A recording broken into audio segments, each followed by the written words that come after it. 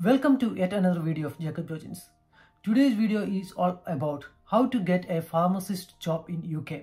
So if you have completed a pharmacy degree in India or you are uh, you, or you are currently working as a pharmacist in any of the Gulf countries and you would like to work as a pharmacist in UK, in this video um, I will discuss about the different steps you have to undergo to become a pharmacist in UK.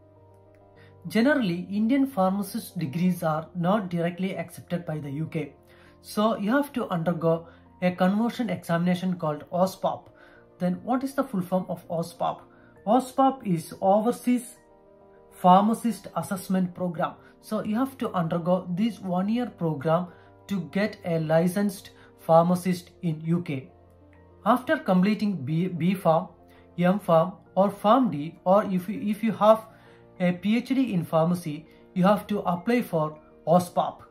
When you are applying for OSPAP program, you have to include all the details of the course you have done. It includes your mark list and your transcripts etc. and also your English qualifying uh, test results. For language proficiency test, both IELTS and OET are acceptable.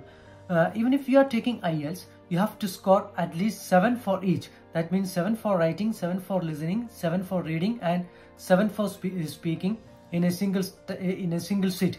seat. That means uh, you have to, uh, for, for a single exam, you have to score 7 for each. Uh, the, the case of OET is also the same. You have to score at least B for each that you have to score B for writing, speaking, reading and listening in a single sitting. If all the documents are ready, now you can apply for MSc OSPAP assessment. You have to pay a fees of 680, uh, 687 pound uh, for this MSc OSPAP assessment. It takes at least 8 weeks to get an updation from them.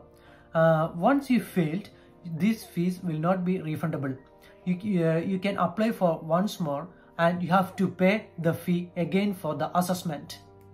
During the time of this assessment, sometimes they send you a mail that your uh, pharmacy uh, qualifications are not acceptable and you need to send the syllabus you have studied during the time of your pharmacy course. Such cases, you have to send the whole syllabus to them to uh, assess once more. Once you have uh, once you have successfully completed the MSc OSPAP uh, assessment, now you can join any of the universities in UK for the MSc OSPAP program. Its fees is from 13 lakhs to 20 lakhs per annum. The universities offering this course are Aston University, the University of Brighton and University of Sunderland. After completing this course, you will get a two-year stay back. After the successful completion of your MSc OSPAP uh, assessment program, uh, you have to work as a foundation pharmacist in any of the pharmacies in UK. That time, your visa has been changed to Tier 2 work permit visa.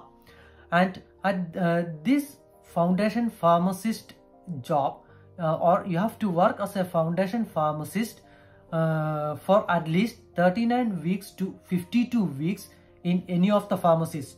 During that time, you will get a salary of 22,000 pound per annum.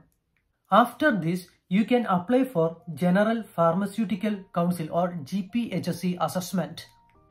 While you are working as a foundation pharmacist, you will get the training for uh, sitting the GPSC assessment program and uh, they will conduct, uh, they will means uh, the tutor assigned in the pharmacy, they will conduct many mock tests and you will get enough training to pass the GPSC assessment.